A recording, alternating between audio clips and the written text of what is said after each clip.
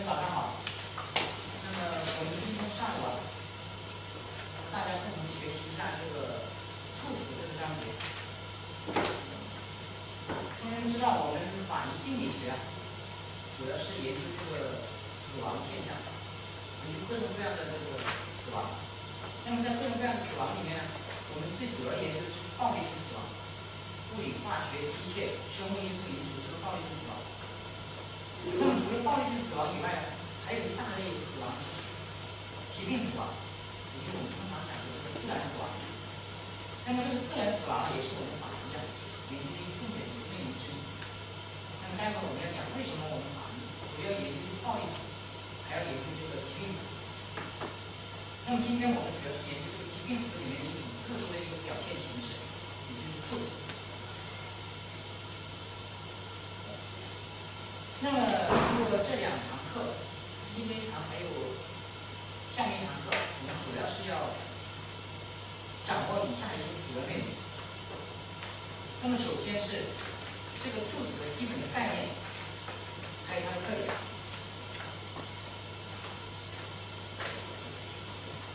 在心源性猝死里面，这个冠状动脉粥样硬化、高血压性心脏病等这两个最主要的心心源性猝个病理变化和猝死的机制。那么在这个心源性猝死里面，我们还要熟悉常见的这个猝死的病因，比如心瓣膜病、心肌病、心肌炎、肺动脉栓塞、传导系统病变等等。那么还要了解一下这个冠状动脉口开口的狭窄、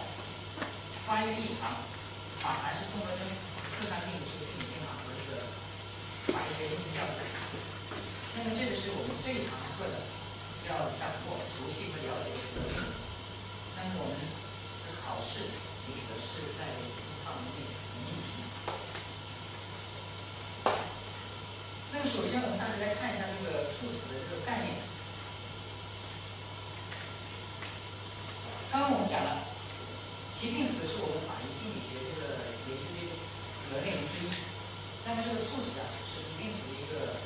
特殊表现形式。那么这个概念我们一定要掌握，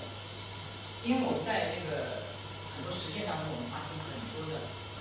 工作人员，就是甚至已经到公安局实习过呃那个工作过很多年的我们一些法医啊，对这个概念不是很清楚。所以我们一定要把这个概念一定要掌握好。那么其实这个概念呢，就有三个要素组成的。实际上猝死，它实际上就是一个急促的、意外的、自然的死亡。那么也就是三要素。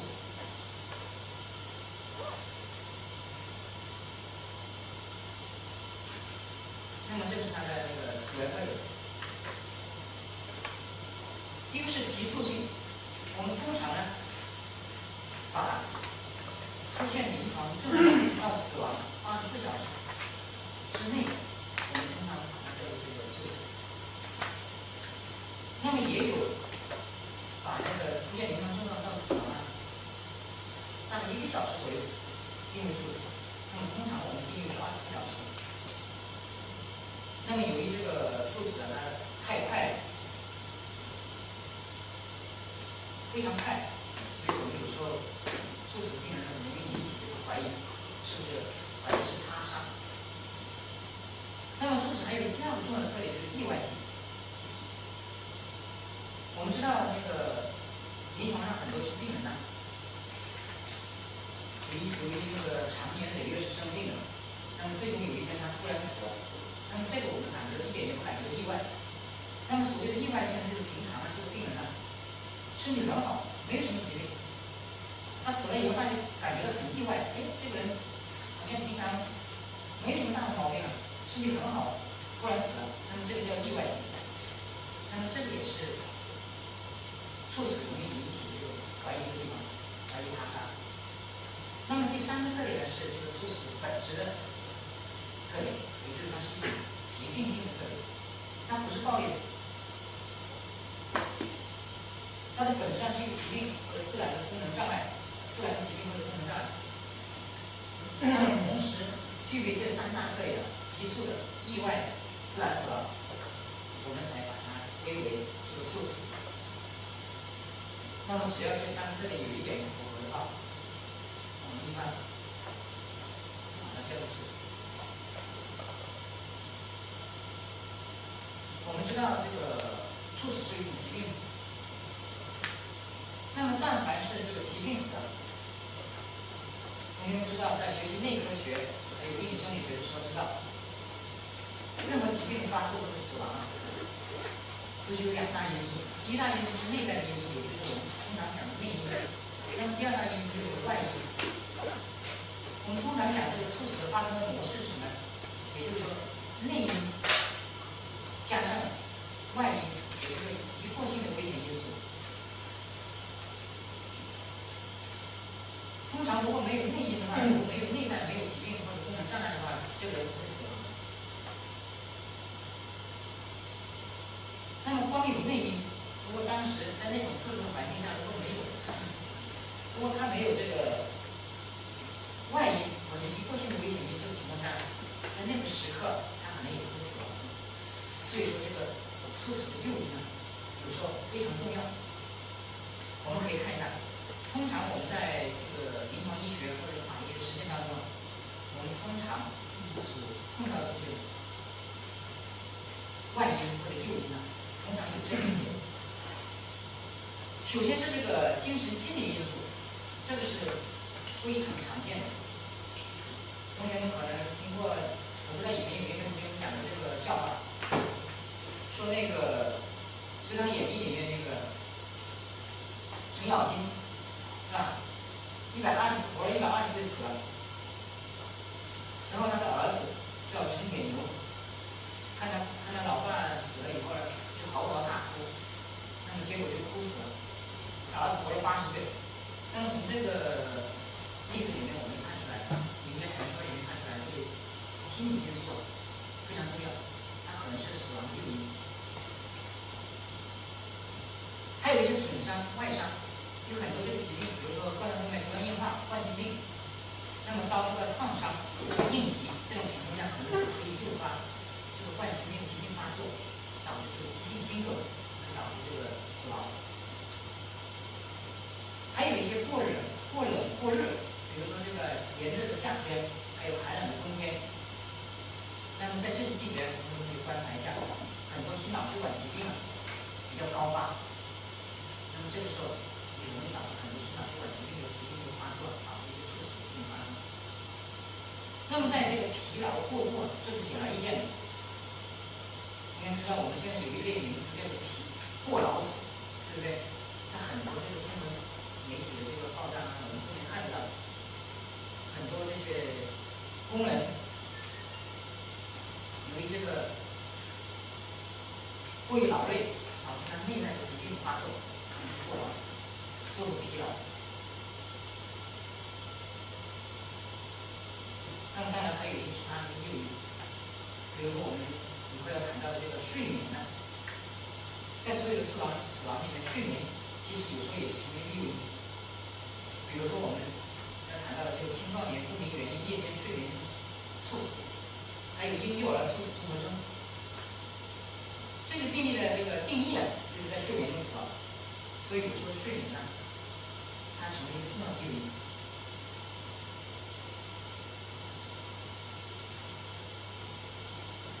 刚我们讲这个猝死的这个发生的这个模式，实际上是内在的因素和外在的因素啊共同的作用。那么这个内在的因素呢，就是我们讲的内在的疾病或者功能障碍。那么首先是各个系统的潜在潜在的疾病，那么这种疾病最主要的还是心血管系统疾病，它占到了所有的这个猝死的病群里面，大约占到了百分之五十。这是经过国内外的大量流行病学调查得出来的，大部分是心血管系统疾病。那么这个是疾病本身这个因素影响，这个是一个影响猝死的一个因素。那么还有影响猝死的一个因素是我们这个性别。同学们知道，这个在这个特别是心脑血管疾病，男性的这个发生猝死的比例显著高于女性。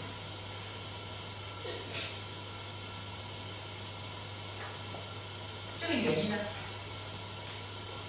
有一些是已经弄清楚，有一些还不太不太清楚。那么，在这个青壮年不明原因夜间睡眠中猝死，这种性别的比例啊更大，大约有百分之九十以上的青壮年不明原因夜间睡眠中猝死发生于男性，女性只占了百分之十。那么这种在某些猝死这个性别差异如此显著，我们一般认为可能是和这个性激素有关系。比如冠状动脉粥样硬化，那么男性啊本身就好发这个冠心病，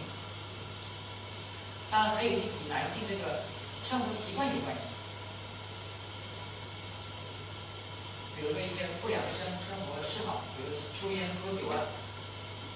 还有参加各种这个强体力劳动。应该从大量流行病的调查里面，可以认可以认识到，确实是和这个猝死的性别差异密切相关。那么还有一个因素和这个猝死啊密切相关的是一个年龄因素。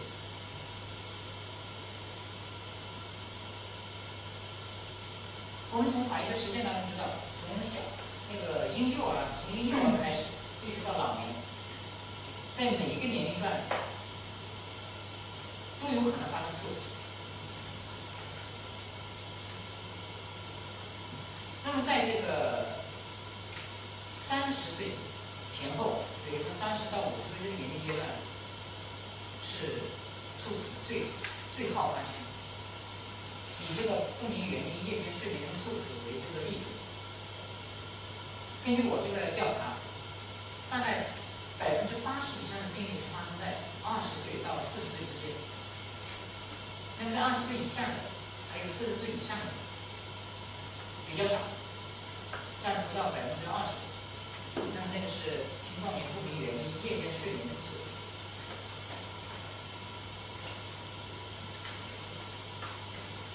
还有和这个猝死发生，还有和各个不同人群的这个种族。还有特异性的体质有关，这个大家是非常容易理解的。比如说，我们还是以这个心脑血管疾病，还有这个青壮年不明原因夜间睡眠猝死为例。那么，在这个心脑血管疾病啊，在以前呢，主要发生于这个欧美国家，因为欧美国家这个生活方式啊，这个饮食习惯啊等等不一样，所以它的冠心病。非常高发。那么近十几年来啊，这个发展中国家，包括我们中国，这个生活条件逐渐好，逐渐好起来，那么饮食习惯呢，也逐渐的这个西方化，高脂饮食、少运动等等，造成我们这个发展中国家很多的心脏血管疾病的一些攀升，那么导致这个冠心病、心源性猝死大幅度上升。那么，在这个青壮年猝死综合征里面呢，这一类疾病种族差异更明显。它主要是发生。在东南亚一带，包括日本、泰国、中国、越南、菲律宾等等一些东南亚的国家，特别是泰国最好发。而且这些东南亚的这个移民呢，到美国、有欧美国家以后，他们的后代还是好发这个青壮年猝死。也是我们通常说的这个青壮年不明原因夜间睡眠中猝死。我们的教材里面有一些错误，他谈到这个东南亚地区的这个人，这是错误的，因为我们是特指东南亚地区的这些我们这些人种啊好发青壮年不明原因夜间睡眠中猝死，应该是这样的，那个写错了，因为。到目前为止，这个心脑血管疾病啊，这些大多数这个猝死好发还是在欧美国家。从整个大类来讲，但是从这个青壮年不明原因夜间睡眠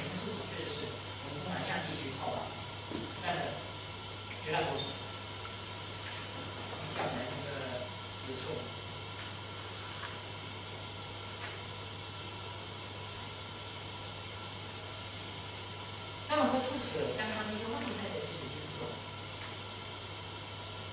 有这么一些，一个是职业。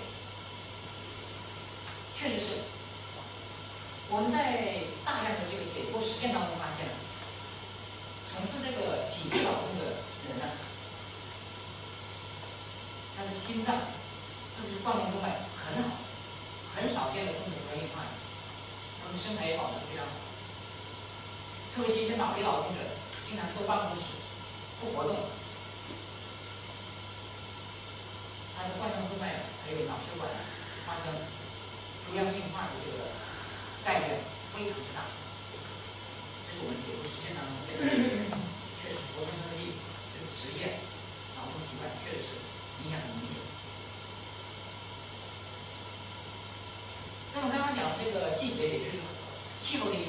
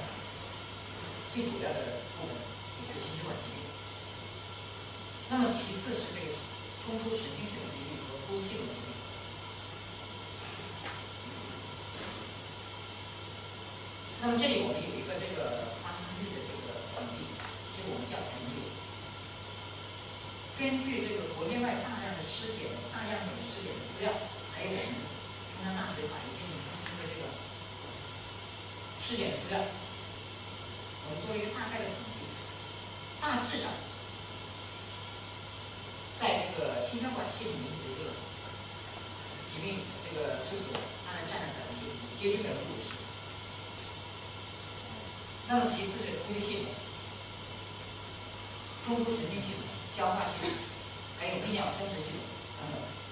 那么这是一个概述。我们要讲的这个各大系统的这个出血疾病发生率，因为这个对指导我们一个临床实践，或是我们法医的这个诊断、死因诊断有一定帮助。因为我们在有些原因不是很清楚的情况下，我们大概也可以做一个推测，哎，这个很可能是发生在这个心血管系统或者呼吸系统，或者中枢神经系统，也就是说心脏肺，我们在要在这几个系统里面认知细致的进行解剖检验，根据概率来讲，绝大多数发生，就三大系统，心血管、呼吸、中枢神经系统。约占到百分之七十五以上。那有时候我们有可能在呼吸系统或者中枢神经系统漏检了，我们要强调要非常细致的检验。那么同学们看一下，猝死，心血管系统、中枢神经系统、呼吸系统、泌尿生殖系统、消化系统、内分泌系统，还有免疫系统，还有其他各种。原因不是很清楚的事情。那么今天这堂课，我们主要是和同学们一起学习、共同复习一下这个心血管系统疾病的知识。我们主要要复习这些病种啊，有这么一些。那么重点呢，我们要掌握这个冠心病、高心，咱们要熟悉这个病毒性心肌炎，冠状动脉开口的异常。等等。下课我们还要详细的去介绍。那么下堂课我们还要进行一下这个中枢神经系统疾病的知识，包括这些内容，还有呼吸系统疾病的知识，主要有这些。还有营养生殖系统的猝死，我们主要将要介绍这三类疾病。消化系统猝死，我们主要介绍这四类的一些疾病。还有内分泌系统。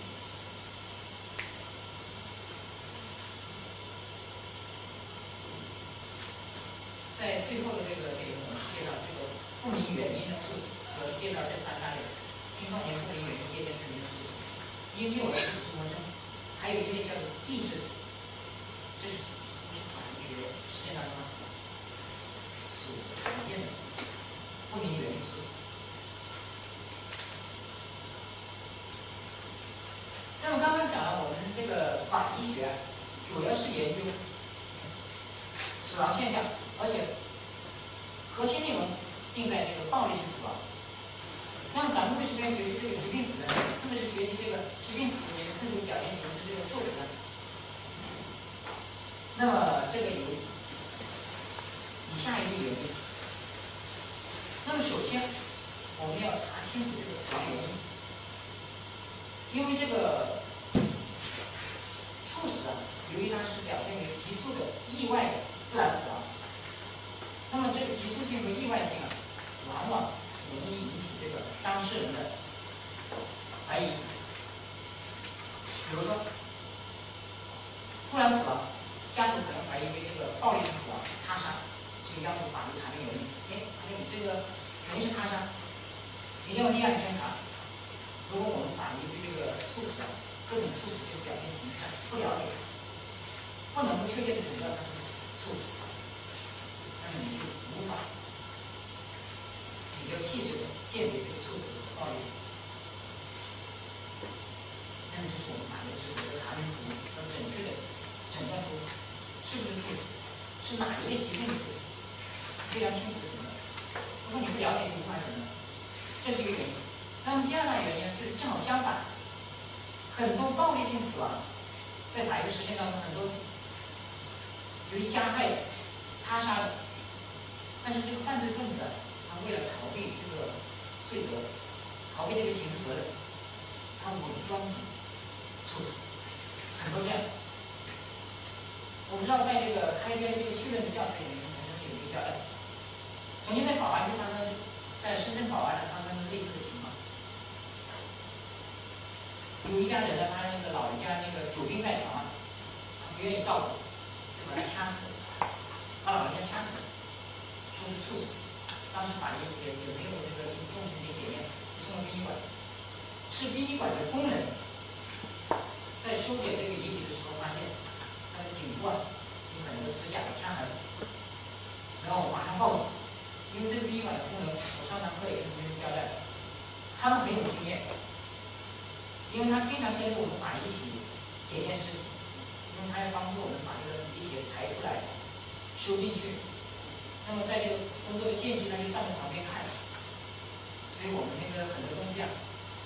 他都了解，所以他们报警，第一时间报警，让法医检验，果真是掐死，这个情杀。诸如此类的事情，在法律的实践当中非常多见。如果我们不了解这个暴力性死亡和这个猝死的这个本质，也就不能很好的区分这两者之间的这个区别。不能很好的做一个鉴别诊断，所以说我们要，这是我们要查明死亡原因要学习这个知识的第二大重要原因。当然，在这个猝死的过程当中啊，有时候这个猝死还伴随着损伤，虽然是主要是疾病死，但是有时候伴随着损伤。那么究竟是损伤导致的死亡还是疾病导致的死亡？那么究竟这个损伤在这个死亡的比例当中，担负多大的责任？那么这个时候有时候非常困难，所以我们要要我们辩驳，非常细致的辩驳。那么我们法医学研究促使还有一个重要的原因，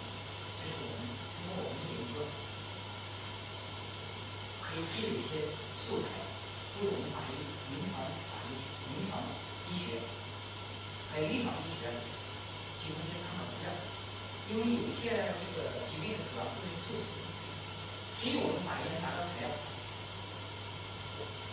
比如说这个青壮年不明原因夜间睡眠中猝，往往他根本就没有到这个医院进行就诊，所以医院没有他的临床资料，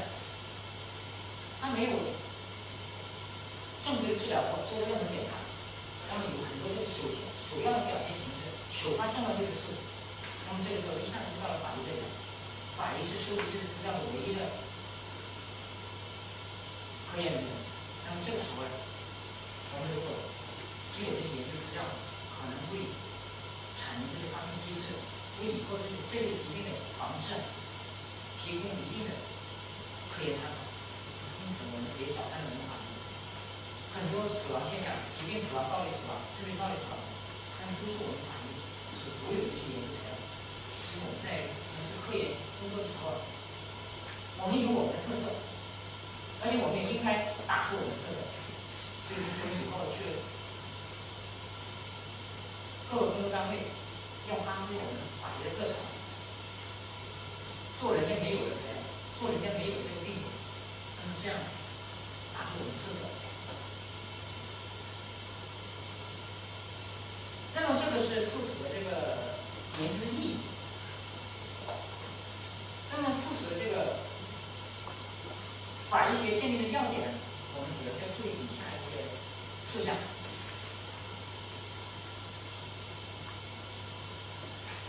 那么，和其他类型的这个案例的这个法医学鉴定要点一样，在遇到这个猝死的病例的时候，我们首先要进行案情的调查。同学们一定不要忽略了这个案情调查，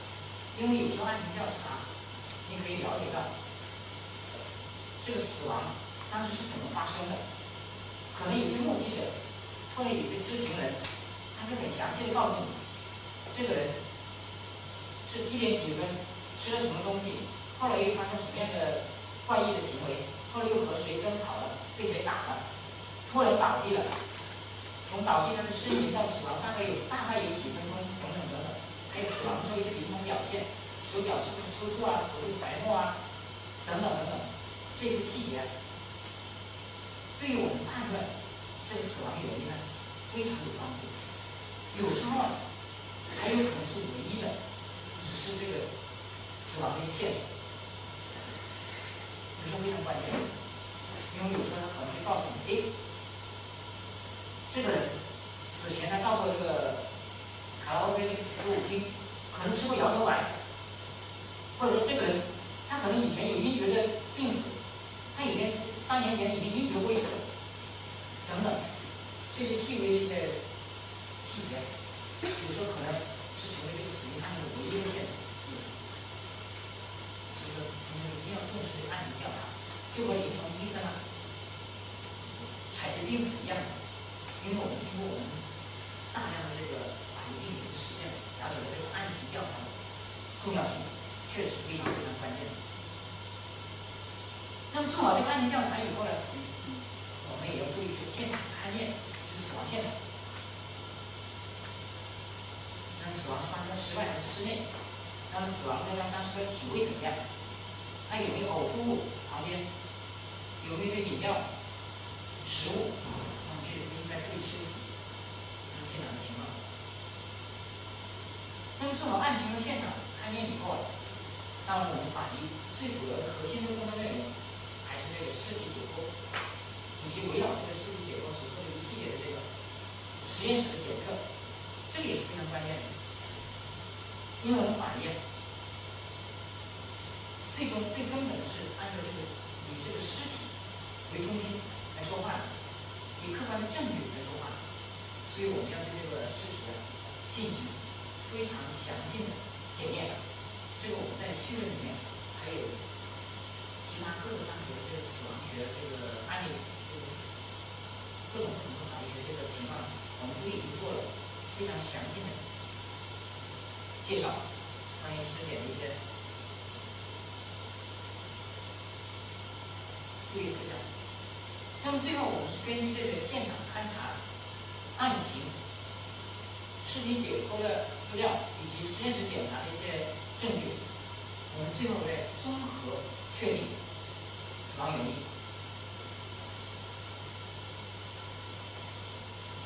首先，我们要明确这个死亡原因。那么要做到这一点呢，我们必须综合这所有的材料，一定不能盲。不能仅仅根据案情，哎呀，这个是突然倒地的，有没有人家反映他是他杀？那就肯定就是猝死，不行的。或者说仅仅凭凭一个这个组织学检查，没有经过很好的这个案情调查和这个毒物检验的排查，就做出猝死结论也是不严密的。那么在要做到一种非常严密的、非常有把握的这个猝死的鉴定意见呢？我们必须要排除各种损伤所致的死亡和中毒所致的死亡，也就是简而言之，就是排除暴力性死亡。这是我们法医学诊断猝死的最关键的一个环节，一定要排除暴力性死亡。那么在这个死因分析的时候，我们通常会碰到这么几种情况。一种是死因非常明确的猝死，这个很容易诊断，没有暴力因素，也没有中毒因素等等，那么这个时候很很清楚，比如说病毒性心肌炎猝死，很清楚，有这个器质性疾病的发现，那么也有一些可能是猝死，但是它没有器质性疾病的发表现，那么这个我们原因往往归归结为不明原因猝死，当然还有一些猝死。刚刚我们提到是和中毒、损伤等等其他一些暴力因素存在的情况，这个是我们最为头痛的。这个是要要了解到底是中毒为主，还是疾病为为主，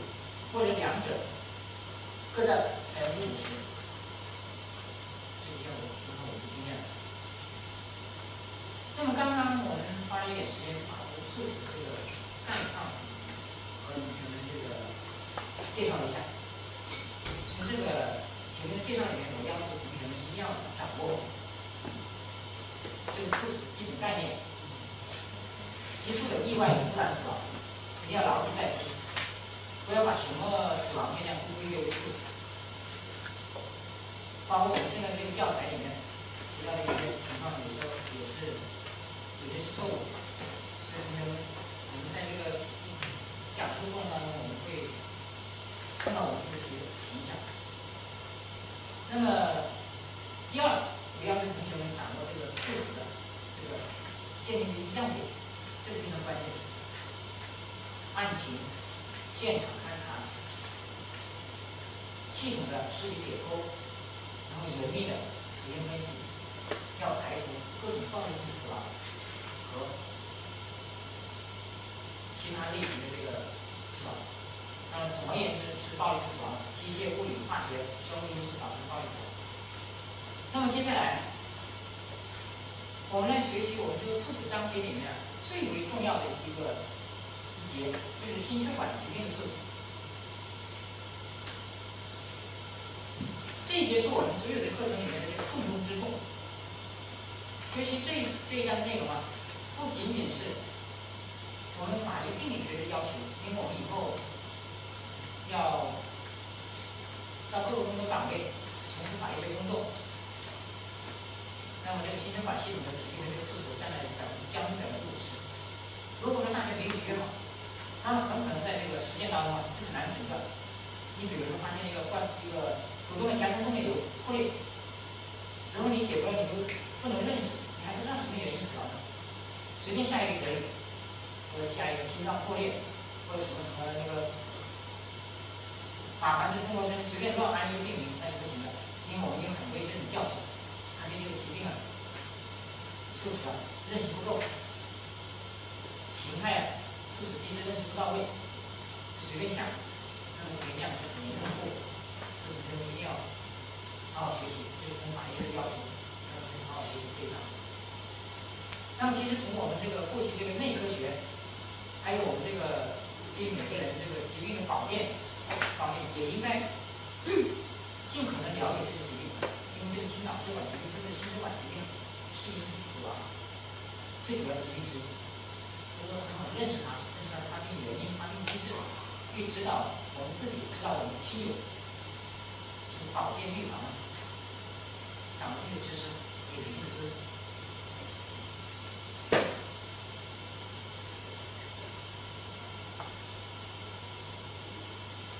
那么关于这个心血管系统心源性猝死这个章节，我们首先来看一看这个。冠状动脉粥样硬化型心脏病，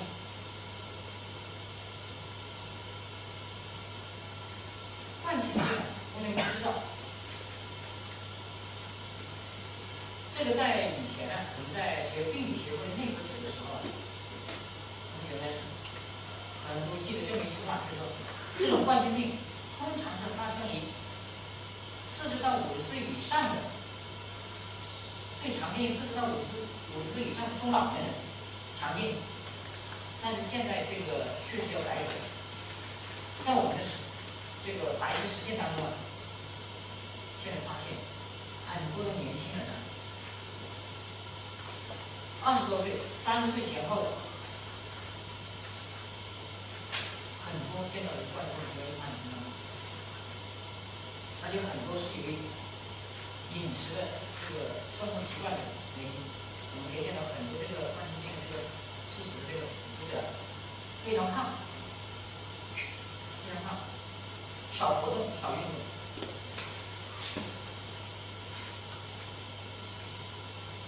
那么我们同学们在课后啊，可好好的这个复习一下这个冠心病的病因。目前，现在这个科学这个技术水平发展这个阶段，我们认为冠心病的发发生。主要是和哪些因素有关系？比如说这个刚刚讲的这个饮食的因素、运动的因素，还有这遗传的因素，甚至还有些认为说和这个病毒被感染、血管内皮细胞这些功能的状态有异常等等有关系。同学们可以在课后好好复习一下。那么这个复习啊，不是为了应付考试，而是为了增进大家对这个冠心病。认识，第一，我们防病治病，我觉得用途是非常之大。我不知道那个前面的同学们讲过没有？像去年我见过同学们交代，包括和其他一些专业同学我这么说，我们法医啊，从事法医工作的人，我们这个健康状况或者寿命比其他人要长。要长的原因是什么？两大原因。第一大原因是我们见过这么多这个死亡现象，我们很多这个生老病死见得多，我们心情开朗，比较豁达，心理状态比较好，这是很重要的。那么还有，当然还有第二大原因，就是我们对这个很多疾病，特别是猝死性的疾病的认识相对来说比较深刻一些，相对来讲比较深刻。你看很多临床医生。他只是见了某一某一类的疾病，对不对？心血管医生只见了心血管的疾病，而且他还没有把这个心脏剖开看，没有那个直观的认识。心血管只管心血管，消化科的医生只管消化科，他对整个这个疾病、整个这个病种没有一个非常全面的系统的一个认识，或者说这个接触。那么咱们法医啊，从头到脚，什么疾病的接触？对这些疾病的认识确实有时候非常的难以深刻，所以更懂得如何养生。所以我也希望同学们学习这通过学习这个数字这个章节，全面的提高我们防治疾病的这个意识和水平。我觉得这个比我们学习法医的法医病理学的诊断来的更重要，不光是对于自己，还对于身边的同学亲友。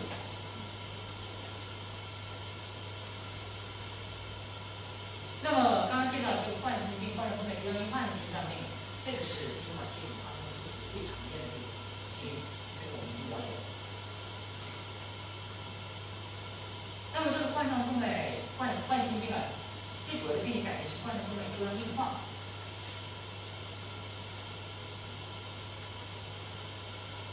这个图比较直观，同学们看一下。这个是动脉壁，动脉壁分为内膜、中膜和外膜。中膜主要是一些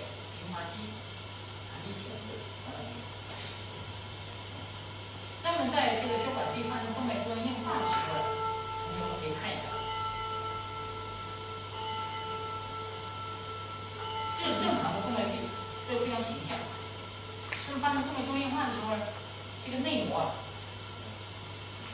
增厚非常明显，那么由于这个脂脂类的这些物质沉积在这血管壁，那么引起血管壁的这种坏死，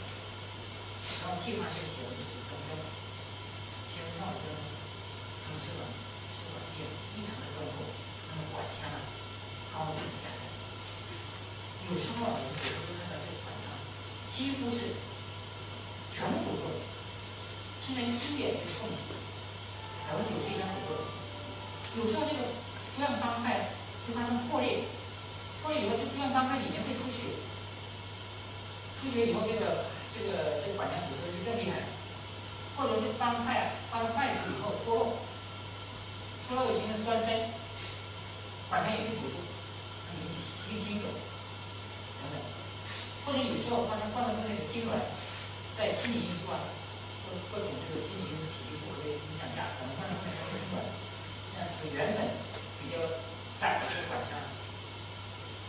痉挛更厉害，那个狭窄更厉害，影响影响猝死。好了，那么同学们，我们这堂课就上到这里，休息一下。